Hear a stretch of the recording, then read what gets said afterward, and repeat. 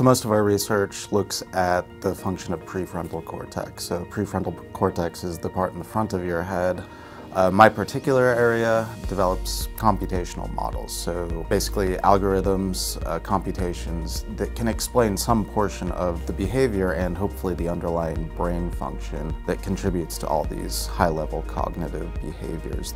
Neuroscience research is hard and there's no clear-cut answers. Anyone who decides to go into this field needs to be okay with ambiguity, so they have to have a, a, a real passion, a drive for uh, understanding what's going on. Thank you.